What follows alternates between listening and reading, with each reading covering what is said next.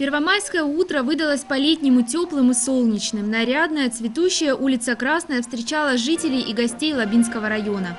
С трибуны земляков поприветствовали первые лица и сотрудники администрации, руководители профсоюзных организаций, почетные граждане. К землякам обратился глава района Игорь Чигаев. Он поздравил с праздником весны и труда, поблагодарил тружеников за упорство, победы и достижения, пожелал новых свершений.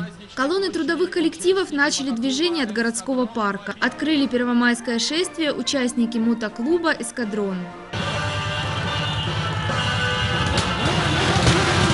Эстафету подхватили дети. Участники творческих коллективов подошли к делу творчески.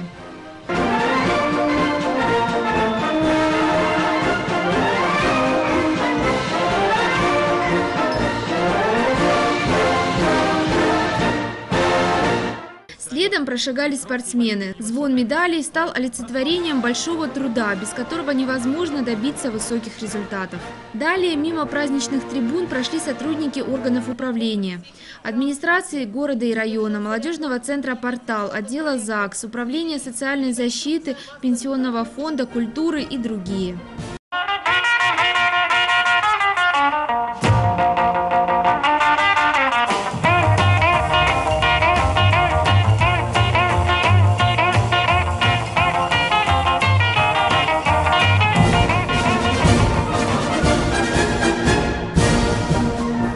По традиции масштабной стала колонна учреждений образования, 30 общеобразовательных, 29 дошкольных организаций, 4 учреждения дополнительного образования и 4 среднеспециальных учебных заведения.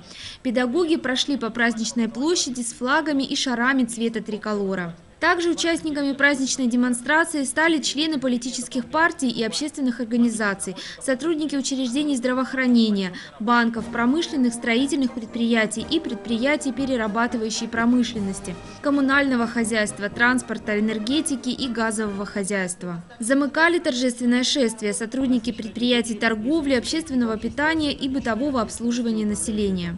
Лабинские труженики отметили Первомай с высокими результатами. В праздничных реляциях были озвучены достижения, почетные звания и успехи сотрудников учреждений и предприятий.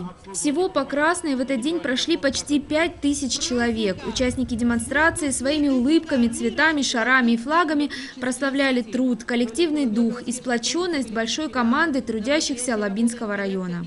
Праздник продолжился в городском парке. Здесь были организованы развлечения для детей и их родителей. Малыши играли на площадке, для детей постарше работали карусели. Возле касс собрались десятки желающих. Мороженое, сладкая вата, изделия декоративно-прикладного творчества, концертная программа. В парке было интересно и детям, и взрослым.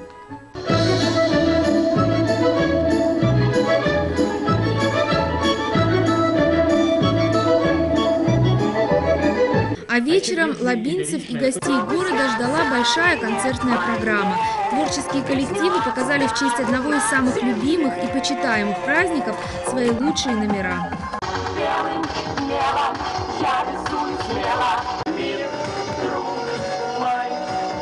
Татьяна Щукина, Игорь Исаков и Георгий Сопов, телекомпания «Лаба».